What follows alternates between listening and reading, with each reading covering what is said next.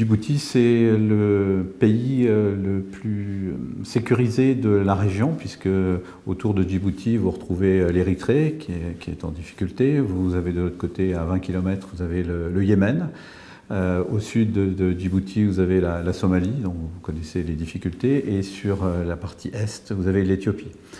L'Éthiopie, c'est un pays euh, extraordinaire puisque c'est un pays de plus de 100 millions d'habitants et euh, le seul point d'entrée euh, des marchandises d'Éthiopie passe par Djibouti. C'est le port d'entrée de toutes les marchandises sur Djibouti. Donc Djibouti a des infrastructures portuaires extrêmement importantes par rapport à ces dimensions et le point d'entrée de, l'Afrique de l'Est et notamment de, de l'Éthiopie pour toutes les marchandises. Donc c'est un pays à la fois sécurisé par rapport à un environnement très troublé et un point d'entrée économique extrêmement important pour l'Afrique de l'Est. Euh, on peut effectivement qualifier tout à fait de hub pour l'Afrique de l'Est, et d'ailleurs les Chinois l'ont bien, compris, puisque les Chinois considèrent que c'est le début de la route de la soie, enfin le début, c'est en tout cas pour l'Afrique, et c'est par là qu'ils souhaitent faire transiter beaucoup de, marchandises et de business, et ont implanté d'ailleurs leur première base militaire à l'étranger, sur Djibouti, là, très récemment, euh, vient de se terminer en juillet 2017.